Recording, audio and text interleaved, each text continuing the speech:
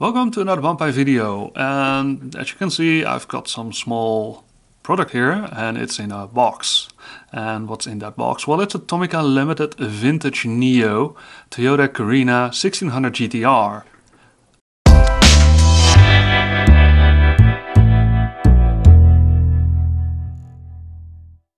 So what's so special about this car? Well, I picked it up from Auctions Yahoo and as you can see the box is really really small and it has this car in it and the car is about the size of a Hot Wheels car or a Matchbox car or whatever you are used to.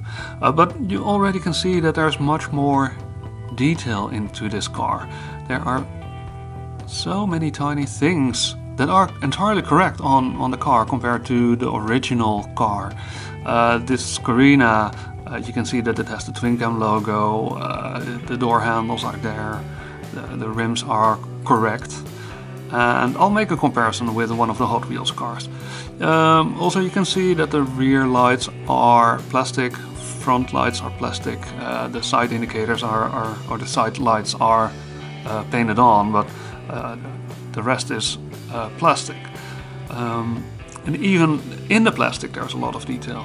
So it's just amazing how much detail uh, Tomica put into this car and that's also why it's the, the, the vintage limited Neo series. And all the cars in this series have a similar detail or a similar uh, amount of detail. Uh, looking at the rear you can make out that there are the re reversing lights, uh, you can see the, the vertical slots in the, the rear lights which is spot on for uh, the Carina.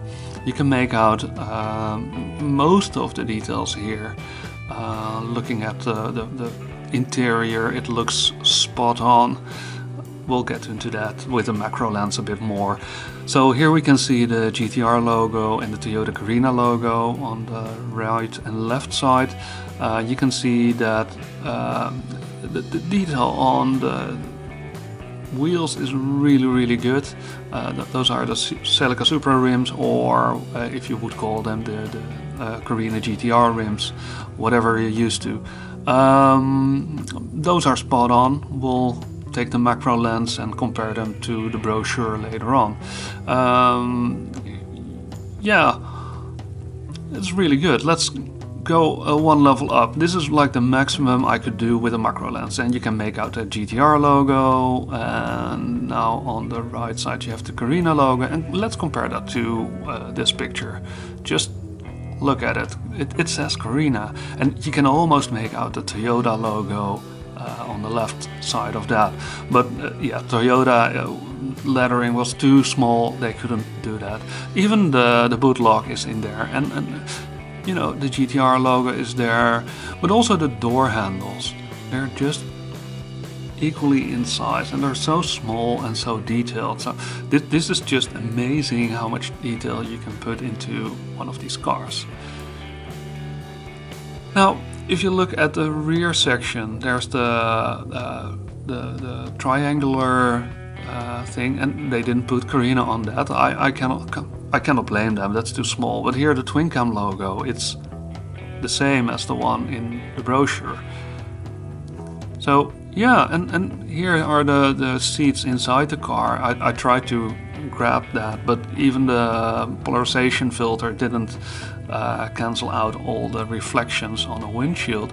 But you can almost see the cloth um, aligning in there. And also the, the steering wheel and the dashboard are the same. So you can even make that out.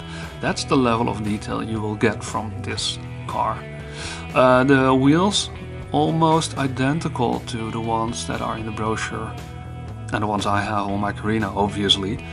So yeah, you can even see there the, the lug nuts in there. So there, there you have it, that's how they are supposed to look.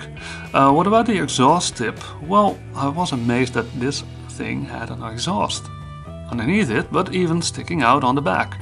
And you can see that, uh, well, it's a bit difficult to see right now, uh, but yeah, just change the angle a bit and then you can see that the exhaust tip is also present. If you look at the underside, you can see that there's a catalytic converter and a, a muffler in there. And the, the, total exhaust is completely accurate.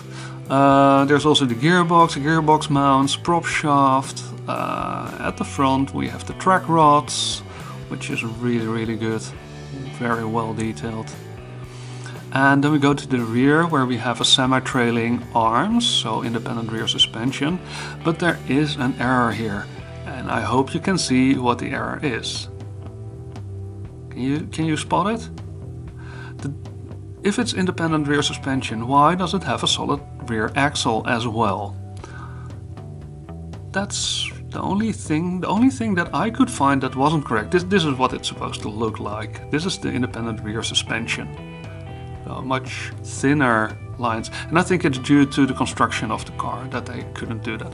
Here we compare it against the Nissan Skyline uh, Hot Wheels car that I own. And at first sight, you can see a bit of difference, but it isn't that big. Uh, however, if, if we take that, if we, if we look a bit more closely, uh, you will notice a couple of differences, especially those wheels on the Nissan Skyline are, they're horrible.